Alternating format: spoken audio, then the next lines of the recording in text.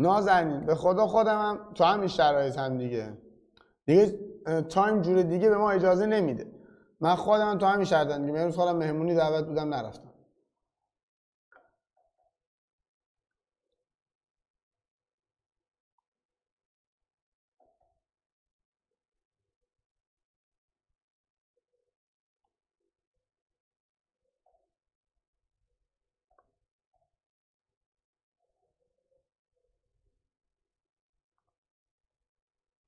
نمیشه از کانال ها رفت یعنی چی؟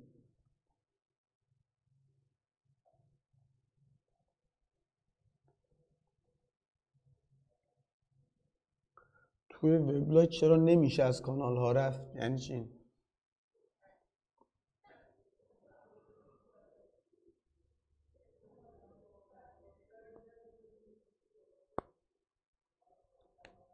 می‌تونی اسبشون کنی مگه میشه نشه اسب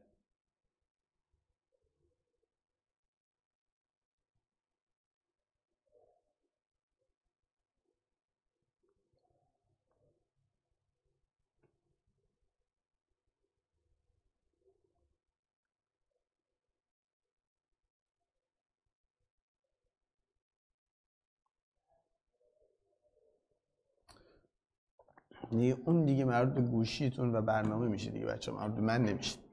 مربوط به کانال هم نمیشه. خب بیا اینجا ببینم. آقا چی داره میگه؟ میگه آقا به ژ وارون اف وارون آ بدی میشه هشت. قبوله. آقا ما اینجا که ژ وارون نداریم. ژ داریم دیگه. پس به ژ هشت بدی میشه اف وارون آ. قبوله. خب تموم شد دیگه. الان ژ هشت رو حساب کن.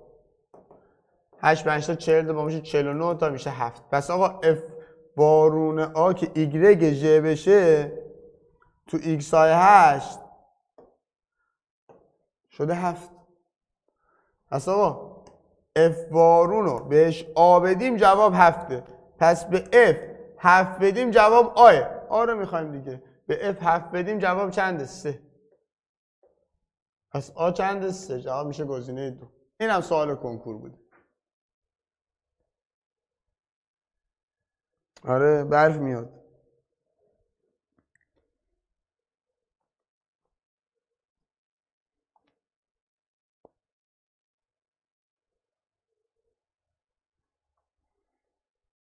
بچه اوکی این؟ لا مشکل. حله.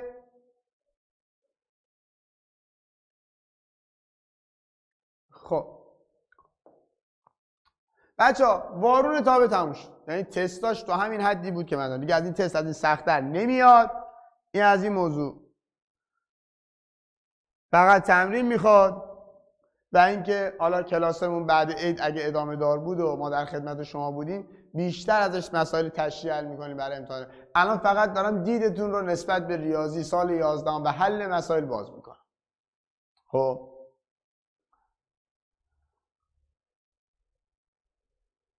پایه 11 خب حالا بیاین اینجا. آقا می‌خوام سراغ دامنه تابه بچه ها شما چند نوع تابه دارید؟ یک.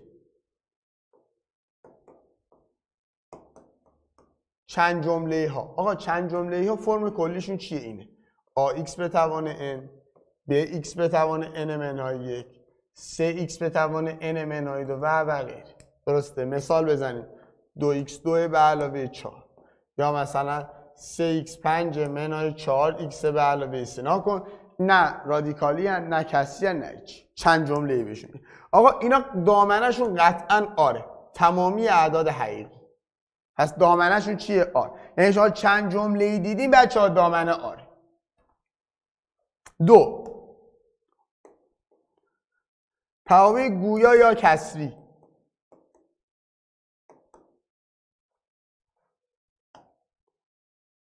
فرم کلیشون این آقا. Fx بر روی jx درسته.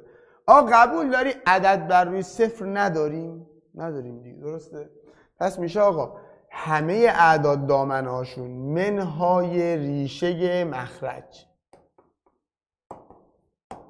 یعنی شما ریشه مخرج رو حساب می‌کنی میگه آر منهای اون عدد.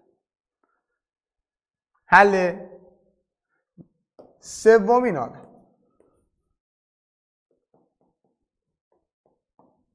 رادیکالی.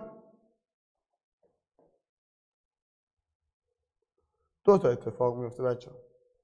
یا زیر رادیکال داریم و فرجش زوجه. یا عبارتی داریم که فرجش فرد. درسته؟ آقا اگر زوج باشه برای پیدا کردن دامنه میگه هر چی زیر رادیکال داری و بزرگتر مساوی صفر قرار بده. یعنی تو یک نامعادله بیا حل کن که بزرگتر مساوی